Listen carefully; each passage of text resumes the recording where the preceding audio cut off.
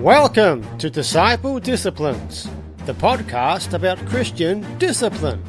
Soldiers in the army of the Lord.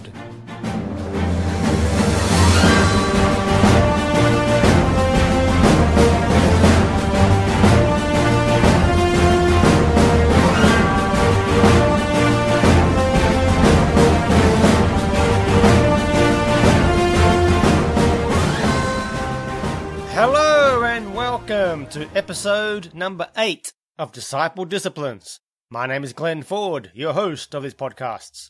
Today I'm going to continue our series on relationships, godly relationships. Last episode I spoke to you about wives and women and the conduct of a godly wife, a godly woman. We went through scripture and we saw how a woman or a wife can actually influence a husband to sin. We saw way back in Genesis how Adam heeded to the voice of his wife and he ate the fruit, of the forbidden fruit, and as a result, a curse came on the earth because of that. And also in all man, because sin now has now entered mankind because of what Adam did. Then we saw with Abraham how God made a promise to Abraham that he would be the father of many nations. And then Sarah spoke to Abraham and said, Look, go into my maidservant Hagar and bear a son through her. So Abraham heeded to the voice of his wife. He went into Hagar, and she bore a son, Ishmael, which brought a curse on the earth because through Ishmael came Islam. Then we saw Samson. Samson, God's man, God's soldier, God's warrior for Israel. He also was deceived because of a woman. The enemy brought a woman along, a Philistine woman. He fell for her, she seduced him, and he ended up giving away his secret of his strength, and as a result, he was killed. Then we saw David. David also was led astray because of a woman. Because of his lust, he fell for a woman, Bathsheba. He saw her lying naked. He went to her, took another man's wife, committed adultery with her, and then killed her husband. So he was led to commit murder because of his lust and adultery. And as a result, the son that was born through Bathsheba, the first son, because of that adulterous act, that son then died. Then we saw with Solomon, King Solomon, the wisest king in all the land, the richest king in all the land. God blessed him abundantly with wisdom and wealth. And yet, he also was led astray because of his wives. He had 700 wives. These wives were worshipping idols. They were not following God, and as a result of this, these wives led him astray, and he ended up sinning and worshipping idols, and as a result, he ended up losing his kingdom. So we saw right through the scriptures this example, the examples of women who can lead men astray, men of God, God's chosen men, and yet they can be led astray and led to sin because of their wives. We also saw through Scripture in the last episode that a wife can also bring a man or a husband to Christ through her godly conduct. We saw this in 1 Peter chapter 3 that wives submit to your husbands, even if some do not obey the word. They, by your conduct, by your godly conduct, which was a gentle and quiet spirit in submission to her husband, by that godly conduct, she could then lead her husband, who was not even obeying the word, she could bring him to Christ because of her conduct. And I also shared a testimony last episode of a couple that I know personally who are walking with the Lord. I shared her testimony how she was married to a man who was not a Christian, and she found it hard to submit to him because he was not a believer. But she heard in Bible college, she heard a teaching on Christian marriage. She understood that her part as a wife was to submit to her husband. She did that. She had a godly conduct toward her husband. It was gentle and quiet. She was obedient in all things to her husband. She was not nagging him any more. And as a result, that man got saved. The next semester of the Bible college, he was there. He signed up as a student. It was a phenomenal turnaround, and it was so such a privilege to meet them and to hear their testimony. It was a great privilege for me to meet both of them, and now they're both serving Jesus, and it's wonderful. So we can see this influence of a woman over a husband. She can have a negative influence on him, or she can have a very positive influence on him. Now, today I'm going to talk about the conduct of a godly husband and a father.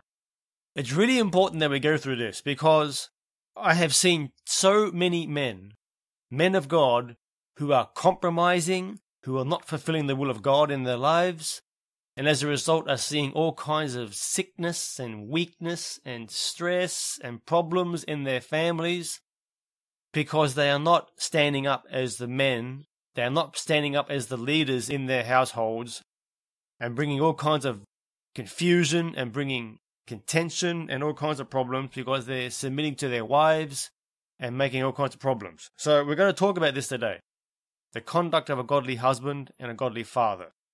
So go and grab your Bible, go and grab a pen, go and grab something to write on, and let's get into God's Word today. Amen?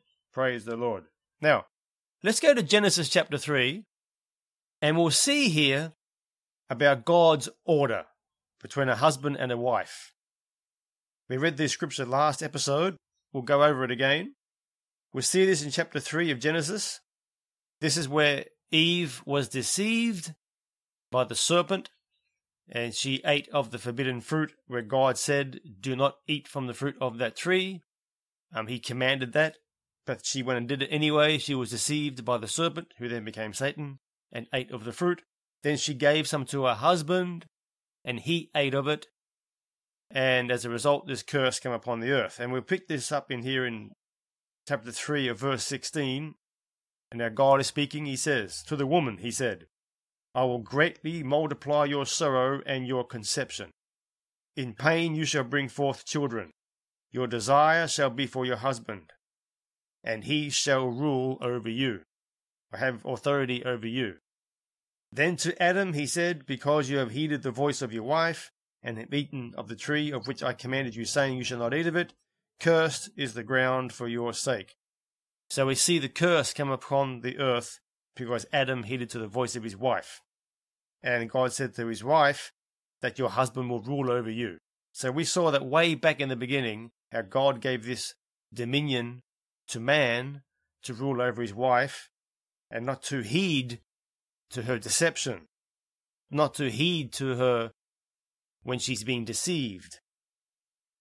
Let's look at this over in Numbers chapter 30, and we'll see that how this authority that God has given to the husband, to the man, and to the father over his wife and children. Let's look at this over in Numbers chapter 30. Look at verse 1. That God given the command to Israel through Moses. He says here, Then Moses spoke to the heads of the tribes concerning the children of Israel, saying, This is the thing which the Lord has commanded. Okay, this is the Lord's commandment. If a man makes a vow to the Lord, or swears an oath to bind himself by some agreement, he shall not break his word. He shall do according to all that proceeds out of his mouth. That's pretty clear, okay? God said to the man, Man, if you make a vow to me, then you are bound to keep that vow. Period. Full stop. No ifs, buts, or maybes about it. No, oh yeah, but in this circumstance it's okay, or in this situation then it's different. None of that. No, you make a you make a vow to the Lord, then you are bound to keep it. But look at this in verse three. Or if a woman makes a vow to the Lord and binds herself by some agreement while in her father's house, in her youth, as a young woman in her father's house, she makes this vow to the Lord, and her father hears her vow and the agreement by which she has bound herself, and her father holds his peace, doesn't say anything about it, then all her vows shall stand, and every agreement with which she has bound herself shall stand. But if her father overrules her on the day that he hears, then none of her vows nor her agreements by which she has bound herself shall stand, and the Lord will release her, because her father has overruled her. That's interesting, isn't it? We're seeing here that a daughter in, a, in her father's house, if this young woman loves the Lord and she makes a vow to God, a promise, a commitment to God to do something for Him, and her father hears that, her father can overrule that. That's pretty powerful. And look at verse 6. If indeed this same woman takes a husband while bound by her vows or by a rash utterance from her lips by which she has bound herself, and her husband hears it, and makes no response to her on the day that he hears, then her vows shall stand, and her agreements by which she bound herself shall stand. But if her husband overrules her on the day that he hears it, he shall make void her vow, which she took and what she uttered with her lips, by which she bound herself, and the Lord will release her. Wow. So God is saying here through Moses that if a young lady is in the in the house of her father, she makes a vow, her father hears it, does not agree with it, he can cancel that vow out, and the Lord will release her. If that woman then gets married and she makes a vow and her husband hears it and does not say anything, then her vow is, will stand. But if he hears it and does not agree with it, he can cancel it out. He has the authority to overrule her and, and he can cancel out her vow that she's made to God, and God will release her because her husband overruled her and cancelled it out. That is powerful. That is very, very powerful. And that is a responsibility to a husband. Okay, let's keep on reading. Verse 9. Also, any vow of a widow or a divorced woman by which she has bound herself shall stand against her. If she vowed in her husband's house, or bound herself by an agreement with an oath, and her husband heard it, and made no response to her, and did not overrule her, then her vows shall stand, and every agreement by which she bound herself shall stand. But if her husband truly made them void on the day that he heard them, then whatever proceeded from her lips concerning her vows or concerning the agreement binding herself, it shall not stand. Her husband has made them void, and the Lord will release her. That is amazing. This is saying that a widow, if she made a vow while her husband was alive, and he heard her vow, that man then dies. This woman is now left a widow, and that man heard those vows while he was alive and he cancelled them out, made them void, even though he's dead. He dies, this woman's now a widow, and what he has said, what he has cancelled out, still stands. So her vow will not come to pass. It's been released because her husband overruled it while he was alive. So even if he dies, he still has the authority over the word still stands. What he said still stands, even though he's dead. That is very, very powerful. Okay? So we see here the authority and the position of a man in a household, in a family. The husband and the father can overrule the vows that his daughter or his wife has made to God. Even if he dies later on, that still stands. It's still made void because he said so. Wow, that's powerful. So we can see the authority of a husband here. Okay? Of a man and a father. Now, let's see here how does a husband love his wife? First of all, this is an act of love, what we just read. Okay? A husband loves his wife, understanding his position as the head of the family, of the head of his wife, that he has authority to counsel out her words because sometimes women can make an agreement by a rash utterance, as we saw here in verse 6 of chapter 30. If indeed she takes a husband while bound by her vows, or by a rash utterance from her lips, by which she has bound herself, and her husband hears it, then he can cancel it out, because she made a, a vow to the Lord, just basically speaking out of the flesh, a rash utterance. It's not being led by the Holy Spirit. It's just something rash. It's just, just spoken out of the flesh. And her husband hears that and he says, No, that ain't going to work. Ain't going to work. That's no, that's no good. I don't agree with that. And he can cancel it out. God said through Moses to the woman, If you make a vow and your husband hears it, then he can cancel it out. But you, husband, if you make a vow, you are bound to it. This is why God commanded women not to have authority over man or to teach a man. Paul said that in his letters to the Corinthians, First Corinthians, we see that. And also in Timothy, he talks about that. Also in Titus, he talks about that. That women is not to have authority or to teach a man. Paul said that the Lord has commanded this. Now, why? Why? Well, we see here in Numbers chapter 30. Why? Because sometimes a woman can make a rash utterance. We saw in chapter 3 of Genesis that women are easily deceived. Paul talks about that also. That's why the husband can hear what she says and he can cancel it out because he can know that that is just a rash utterance. She's deceived. She's making an agreement and trying to bind herself. And she's deceived. And her husband can pick that up and be discerning of that and cancel it out. So we see the responsibility here as a husband, okay, and as a father. Now let's go to Ephesians chapter 5, and we're going to see here now then how does a husband actually love his wife?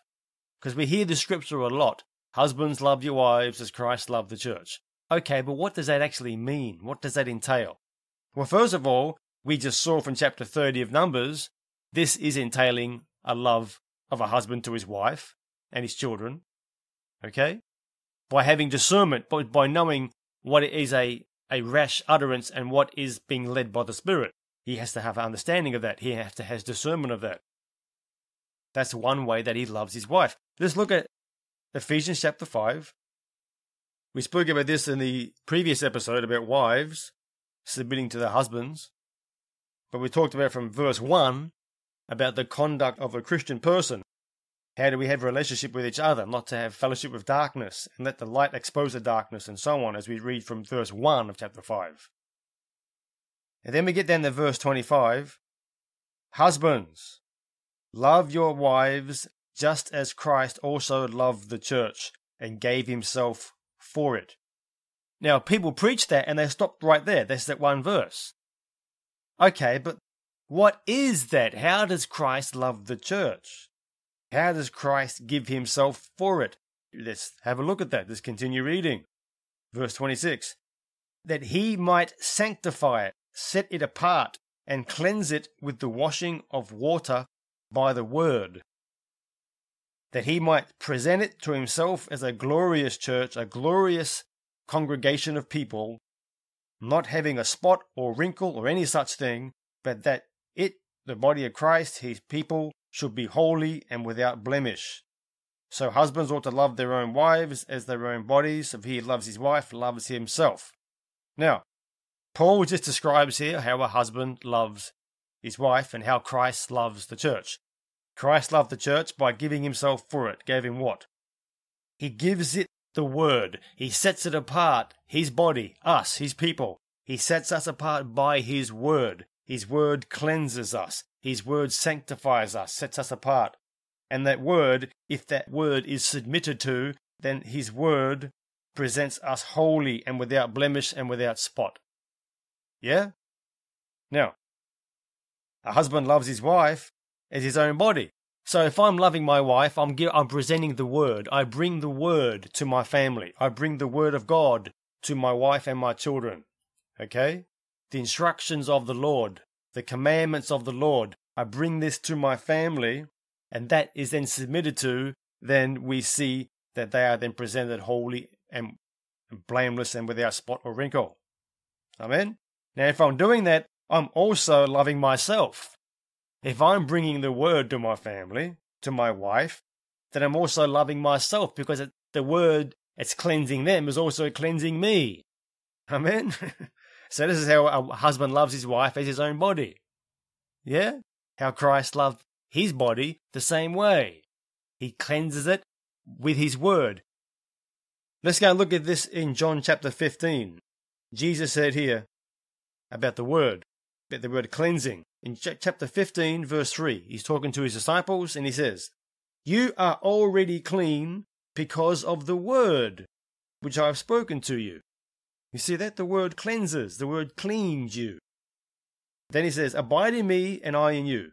As the branch cannot bear fruit of itself unless you abide in me, abide in the vine, neither can you unless you abide in me. And then he says, in verse 7, If you abide in me, and my words abide in you, then you will ask what you desire, and it shall be done for you. By this my Father is glorified, that you bear much fruit, and so you will be my disciples. So you will prove yourself to be a disciple of Jesus Christ. See the emphasis of the word here. If I abide in you, and my words abide in you, what I have said, what I am saying, abides in you, lives in you, takes residence in you, then you'll ask what you desire, it shall be done for you. And what does Proverbs say? Proverbs 4 he says, Get the word in your heart. Don't let it depart from your eyes. Let it go into your heart, and it will produce life. Life and health to all your body, all your flesh. Amen? So we see the power of the word.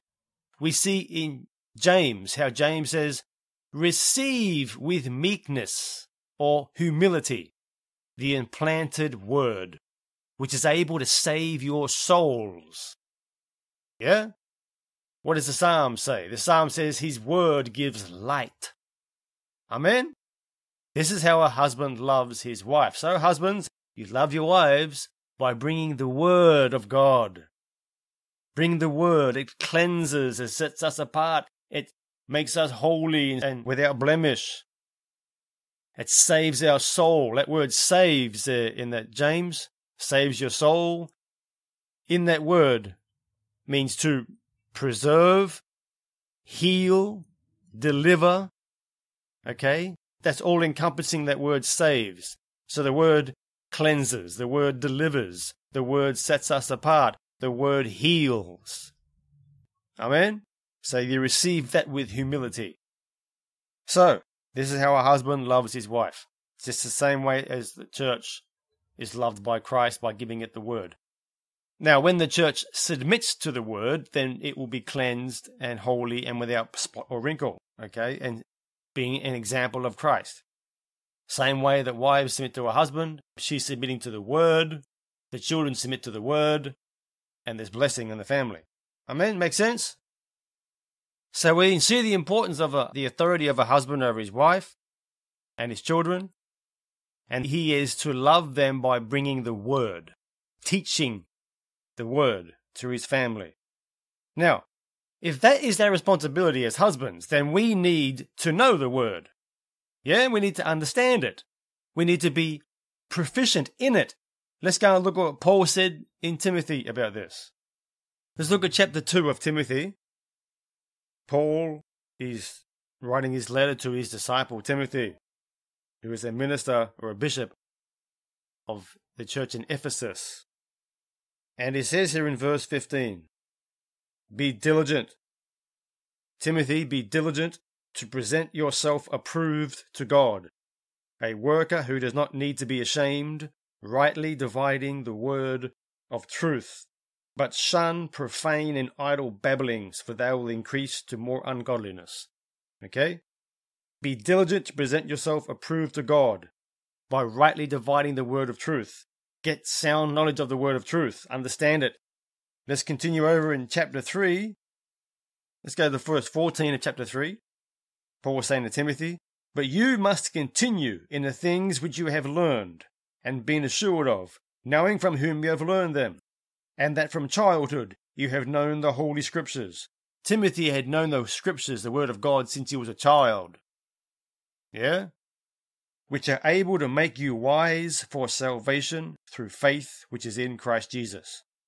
All Scripture is given by inspiration of God and is profitable for doctrine.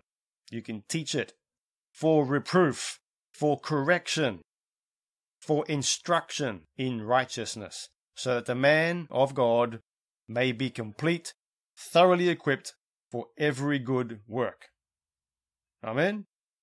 Now, people can say, yeah, but that was to Timothy. He was a pastor. That was his responsibility to the church. That's correct, yes. But this also stands for all of us. Okay? And we can see that with the husband and a father is to bring the word of God to his family. So he must have sound knowledge of the word. You must be diligent in the word. You must educate yourself on the word. You must get your eyes in the word. You must have understanding of what God's instructions are. Then you can bring them to your family. If you love your wife by bringing the word, you love your children the same way. Now let's look at that about fathers. We spoke about husbands, how you love your wife. Husband, you have authority, you have responsibility in your house as a as the head. God requires of you to take your responsibility to bring the word to your family, to your wife. Okay? And not compromise with that. Let's go and look at what God says about fathers. Let's go back to Genesis. And we're going to see here why did God choose Abraham? Abraham is known as the father of many nations. Now let's go and see why did God choose Abraham? Was it just because of his faith? No, I don't believe so, because we can go through the scriptures and we see there's many men and women of faith. Look at Hebrews chapter 11. It gives the big list of all those people, the men and women of God, who were people of faith. Abraham is listed in that, but there are many others as well. So that's not why God chose Abraham, because he was a man of faith. So why did he call Abraham? Why did he choose Abraham? Let's go and have a look at it in Genesis. Genesis chapter 18, from verse 17. And the Lord said, Shall I hide from Abraham what I am doing? Since Abraham shall surely become a great and mighty nation, and all the nations of the earth shall be blessed by him, or blessed in him. For I have known him in order that he may command his children and his household after him, that they keep the way of the Lord, to do righteousness and justice that the Lord may bring to Abraham what he has spoken to him. Now, we see here this is why God chose Abraham. Because God knew that Abraham would be trustworthy, that he would command his children and his household and all those after him to keep the commandments of the Lord. Yeah, and to do righteousness and justice. That's why God chose Abraham. And we see later when God tested Abraham when he brought Isaac, he asked him to sacrifice Isaac, yeah? We know the story. Abraham obeyed that, brought his son, son up to the, to the mountain where he was going to kill him. And then God stopped him, and God said, Now I know that you will obey me, that you're a man after my own heart, and so on. So we see that. So that's why God chose Abraham. Not because he was a man of faith. That had a part to do with it, but specifically to be the father of many nations because he knew that Abraham would bring these commandments of the Lord to his family. Amen? That's why he chose Abraham. We need to be the same as men, as fathers. Okay, we see back in Deuteronomy chapter 6. Let's go and look at that. Chapter 6 of Deuteronomy. God's given his commandments. He says here in verse 4 Hear, O Israel, the Lord our God, the Lord is one. You shall love the Lord your God with all your heart, with all your soul, with all your strength.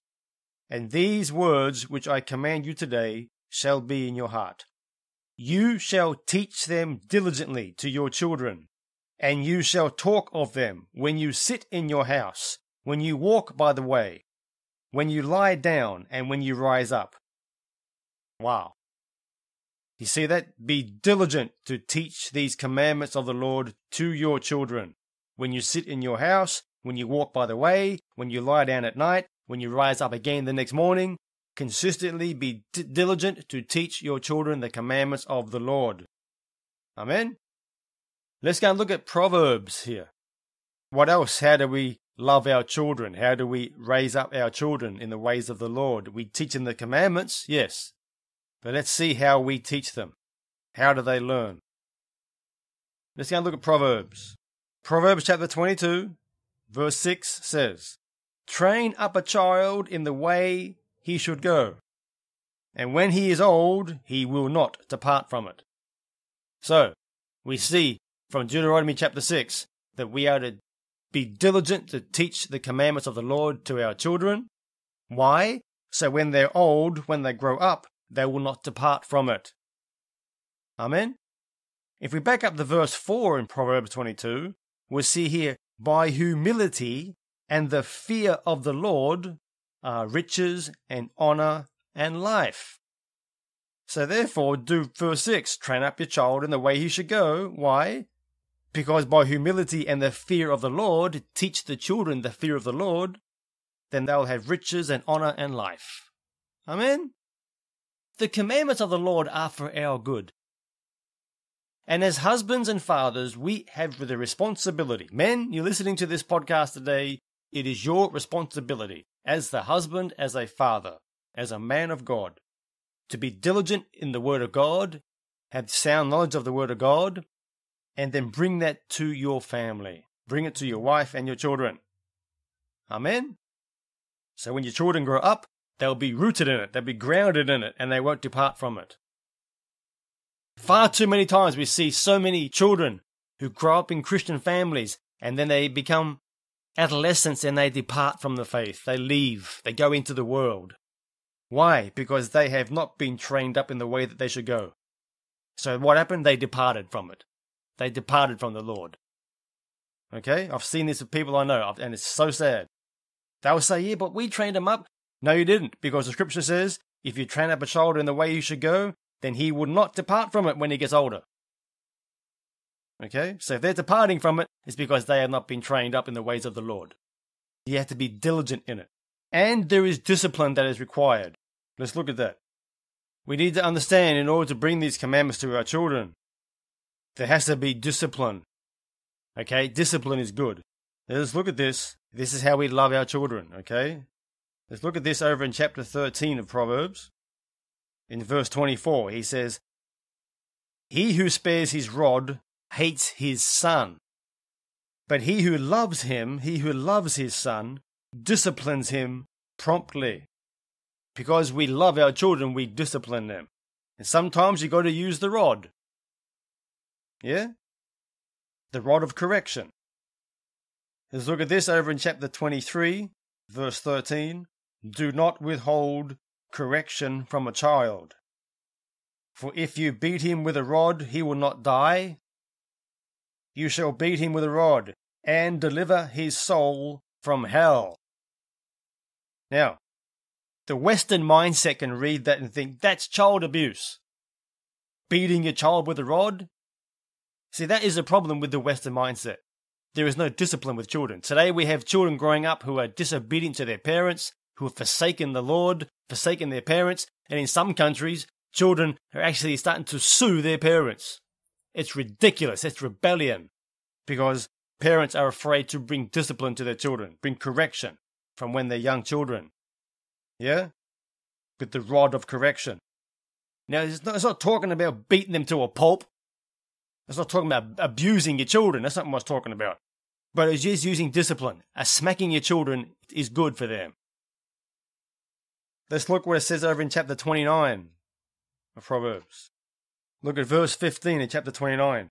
The rod and rebuke give wisdom. You see that? But a child left to himself brings shame to his mother. Verse 17. Correct your son and he will give you rest. Yes, he will give delight to your soul. Amen? So we see the importance of bringing correction, stern correction. Let's go and look at this over in Hebrews. In Hebrews, we're going to see about this correction. Why would God command us to not withhold the rod to our children? Well, we just saw in Proverbs because it brings wisdom. Yeah? Discipline is good. Let's look in Hebrews what, what it says here. Let's look at verse 5 of chapter 12 in Hebrews. And you have forgotten the exhortation which speaks to you as to sons. My son, do not despise the chastening of the Lord, nor be discouraged when you are rebuked by him. For whom the Lord loves, he chastens. That word chastens means corrects, brings correction. And scourges every son whom he receives. Wow. If you endure chastening, then God deals with you as with sons. For what son is there whom a father does not chasten? And any father who loves his children, who loves his son, will chasten them.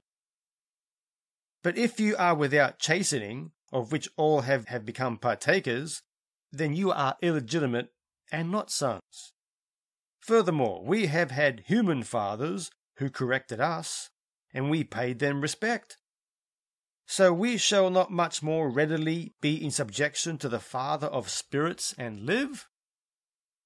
For they indeed, our natural fathers, they indeed for a few days chastened us as it seemed best to them, but he, but God, for our profit, so that we may be partakers of his holiness. You see what chastening does? Brings holiness, righteousness, not carnality, not sin, not complacency. Verse 11 says, Now no chastening seems to be joyful for the present, but painful. Nobody likes it. But nevertheless, afterward it yields the peaceable fruit of righteousness to those who have been trained by it. Yeah? So discipline is necessary. And discipline requires sometimes using the rod. Okay, smacking your children is okay. Don't listen to the world and things in the church that are saying, well, you shouldn't do that because that's abuse and that kind of silly rot. No. Otherwise, your children will be growing up to be rebellious otherwise. So we can see how a father loves his children by bringing the word, and if the word is not submitted to, then the child is disciplined, corrected, penalized for that. Yeah, just as God chastens us. Amen. How else are we to love our children? Let's have a look. Let's go to Colossians chapter 3, and we'll see here about fathers, how they are to love the children. Fathers, in verse 21, chapter 3, do not provoke your children, lest they become discouraged. So, we can discipline them, even use the rod if necessary, and do that without provoking them. How do you do that? How do you not provoke your children? Are they not going to be provoked when you bring out a big stick and try to smack them with it, or bring out your hand and smack them across the bum with something? Are they not going to be provoked? Well, there is a way we can do that. If we address them, son, daughter, this is what the word is. Your father's brought this truth. If you're not doing it, then this is the penalty. Okay? So that the child then knows that they have done wrong and they'll be penalized for it. They're not going to get provoked for that. Not to provoke your children means don't irritate them. Okay? Don't make unnecessary demands on them. Don't irritate them. Love them. But love is bold. Love does not compromise. Love hates sin. Okay? So we don't provoke them by giving unreasonable demands on them, and we don't provoke them by irritating them. Okay? Again, in chapter 6 of Ephesians, Paul says this here again to the Ephesians in verse 4 And you, fathers, do not provoke your children to wrath, but bring them up in the training and the admonition of the Lord. Teach them the commandments of the Lord. Teach them to fear the Lord. Teach them to trust the Lord. I know with my children, many times they've asked me for something. I'll say, ask God for it. Believe the Lord for it. Teach them to have faith. Teach them to practice faith. Teach them to pray. Teach them to know the leading of the Holy Spirit. And the Lord starts to teach them. The Lord gives them dreams and visions and understanding and revelation. This is the Father training up his children. And God uses the Father to speak to the family. Okay, husbands, men, this is your responsibility. Use it. Do it. Okay? Husbands, love your wives by bringing the Word of God. Teach the Word of God. Be the Word of God. Live it yourself. Don't compromise. Don't heed to deception. Don't think you're keeping peace because your wife doesn't agree with something. It is the Word of God. It is to be submitted to for our good for the family's benefit. Okay? Fathers, raise up your children, teach them the commandments of the Lord when they're young. When they're very young, start to teach them. For example, when I'm doing ministry, people coming to my home, I'll have my children there with me. And my children will see how I minister to someone. My children will see the power of God healing somebody. My children will see people being set free by the power of God. My children will see demons being cast out of people. They will see this, they'll experience it, and they're not afraid. They're learning, they're understanding this is normal. This is the normal Christian life. This is what we do. Yeah? This is who we are. They're understanding God. They understand how to believe God, understand the leading of the Lord. We teach them and be diligent in it. Okay? You have to be diligent in it. Now, that's it for me today on this episode. Next episode, I'm going to bring this series of relationship to a conclusion and I'm going to talk about the marriage. I'm going to talk about what do we do if we're in a marriage and the spouse leaves if your husband leaves you or if your wife leaves you, what do we do in that circumstance? Because the fact is that happens. Not everybody is willing to take up their cross and follow Christ. Not even those in your own family sometimes. And we've got to acknowledge that, we've got to realize that many people left Jesus, right? Paul the Apostle had the same problem. He said that all those in Asia had left him. He said that Demas had left him and gone back into the world. This happens. Jesus said that your greatest enemies will be those of your own household. So this happens. It is a fact. I'm going to be talking about this in detail next episode. And in that episode, I'm also going to share a personal testimony that happened to me in my marriage about a year and a half ago. I had a remarkable vision one night. I was on a Monday night. I just come in from the street and I was talking to my wife about what the Lord had done that night on the street. And we went into prayer, and I had this very profound vision. I want to share that with you next episode because in that vision had a lot to do about my marriage and what actually happened not long after that vision in my marriage. It was a very painful experience, and now I've been through it.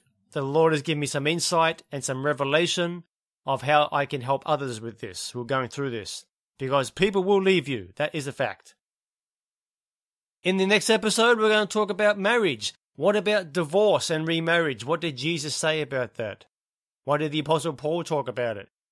Is divorce sin? Is remarriage sin? Is it adultery? We need to talk about that. Because unfortunately, we see today in the churches some pretty bad examples. We need to get to the bottom of this. We need to talk about what Jesus said what does the Word of God say about it? And obey it. So we're going to talk about all that in the next episode. So until next time, remember to love one another. Be diligent to teach the Word of God. Fathers, teach the Word of God to your children. Raise them up in the ways of the Lord, in the admonition and the fear of God. Husbands, bring the Word of God to your wife. The Word of God cleanses, it washes, it sets us apart, it sanctifies, it makes us holy and blameless before God. Wives, obey, submit to your husband who's bringing the Word of God to you. Okay? For this is for our good. Be obedient to God, be obedient to His Word, and continue in it and don't compromise on it. So until next time, God bless you. Amen.